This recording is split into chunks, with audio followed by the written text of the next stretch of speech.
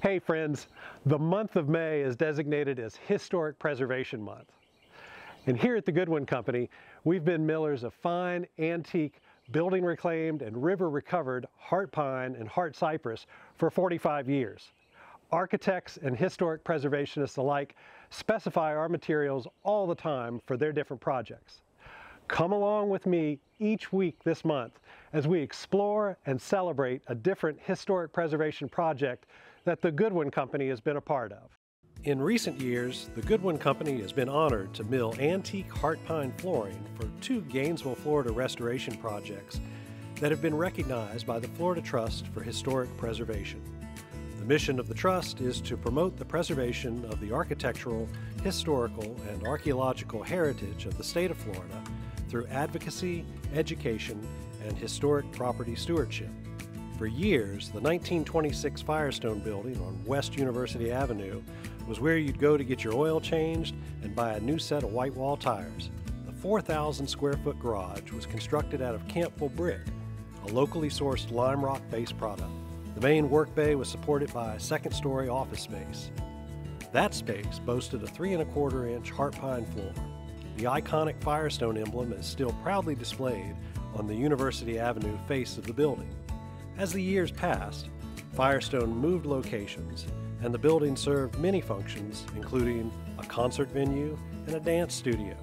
Largely, however, the building was abandoned, suffered water intrusion, and became a neglected eyesore.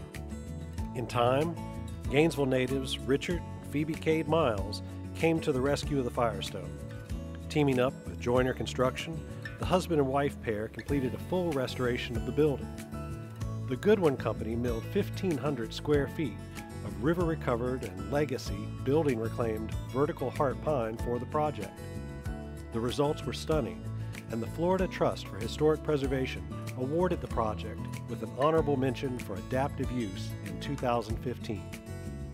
According to Sarah Vidal Finn, manager of the Gainesville Community Redevelopment Agency, the Firestone Building is a model example showcasing the ability to find incredible worth in historic building stock and sensitively reusing it to support modern commerce and businesses.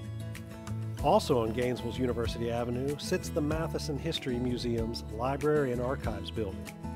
Constructed in 1933, the building was originally the home of the Gainesville Gospel Tabernacle. The original congregation raised funds and built the church brick by brick. After decades of church services, the building became the Barrow Family Antique Store, before being transformed into the Melting Pot Fondue Restaurant.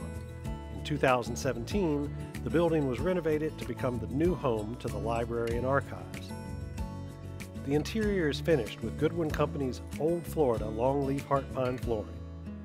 Goodwin's flooring, laced with rid, toned growth rings, complements the building's original ceiling beams, contributing to the authenticity of this historic Gainesville, Florida building.